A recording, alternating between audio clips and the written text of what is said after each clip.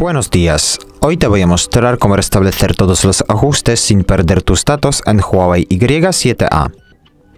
Para eso hay que abrir la aplicación Ajustes. Ahora más abajo hay que abrir la pestaña Sistema y actualizaciones, es la penúltima. Ahora pulsamos Restablecimiento aquí. Y elegimos de aquí la primera opción, restablecer todos los ajustes. Confirmamos aquí y confirmamos de nuevo y esperamos.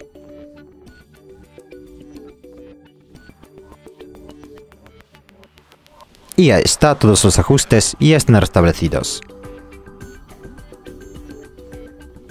Muchas gracias por ver el vídeo, te invito a dejar un comentario abajo y a suscribirte al canal. Hasta luego.